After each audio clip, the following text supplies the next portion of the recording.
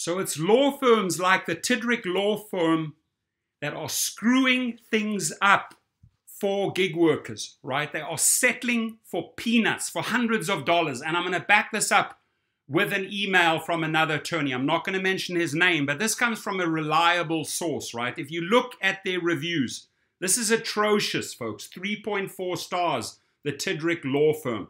This arsehole here calls up drivers and says, listen, accept a few hundred dollars. By doing that, he is lowering the bar. If you can get out, try and break your alliance with the Tidrick Law Firm. If you're thinking of joining from them, run as far as you can from them. Spit on these cheap hoes, on these cheap prostitutes selling us out, right? Unacceptable. Now, the, the lawyer here says, we are seeking reasonable value for our clients' cases. Reasonable value is full value minus an amount that factors in the risks of litigation and the client's need for money. All indications are that we are going to have to go all the way through trial, arbitration hearing to get Uber and Lyft to pay fair settlements. These are fist fights all the way. They are fighting every step of the process. You got to go in there as a law firm and go all 15 rounds jabs, uppercuts, hooks. You got to tire these MFs out, right? You can't be like the Tidrick law firm that's, hey, uh, you take a few hundred bucks and let's run. That's, that's a sign of a desperate, desperate law firm. No wonder they have 3.4 stars. Ladies and gentlemen, you didn't do your, your, your homework on this company, right? Do not join the Tidrick law firm or call them up and say, listen, I am not settling for peanuts. So this attorney writes, Lyft and Uber are picking um, off a lot of claimants with ridiculously low settlements. There's an attorney, Tidrick, there he is, this fucking asshole, who is settling claims for peanuts. He's calling and emailing claimants, offering them hundreds of dollars to wrap up their claims. Who knows? Maybe this Tidrick prick is working with Dara. Hey, Dara, I can get these guys to settle on 100 bucks. Yeah, yeah, yeah, yeah. Do that, do that, do that, do that. Who knows what this asshole is up to? There are many drivers who, for one reason or another, are accepting these deals.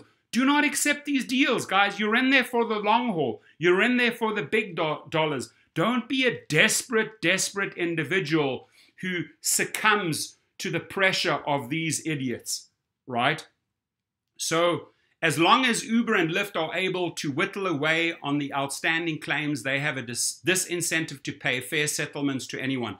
I don't expect any fair offers from Uber or Lyft for at least six months and more than a year. It is bullshit that they can get away with delaying payment of wages that were due, but they can.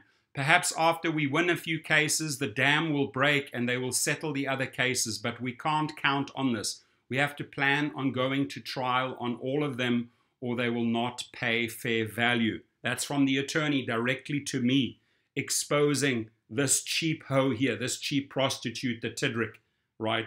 Guys, call these guys up and say, listen, I want out.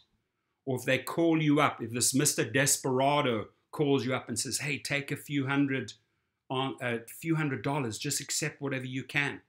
Your answer should be in Russian, niet, in German, nichts, nada, nothing nichts, nix. You will not have any part of signing off on a few hundred dollars. You know why? Because you ruin it for the rest of the drivers, for the rest of the gig workers. Just like gig workers work together, class action lawyers have to go out there and also band together and be prepared to fight all 15 rounds. This guy is buckling and caving in the first round. He's already on his knees. I'll, I'll take whatever I can.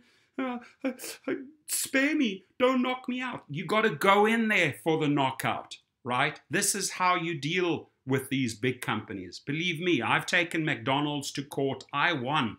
I took Time Warner to court, I won. I got big settlements because I'm not going to play their little phony game. You got to go in there and brawl to the very, very bitter end, folks. That's just the way it is. Huge shout out to my sponsor, Display Ride. Go check them out uh, rideshare monitoring platform, non-stop footage uploaded in the cloud. So, you know, massive deterrent. Or go and get yourself a dash cam, one of the two. And then, folks, do consider Curial. Go download um, the app, please. Sorry, I'm just adjusting the screen here a little bit. And um, it's absolutely anything delivered. I have the links below. Also, Cova, uh, gig protection plan. Check them out below.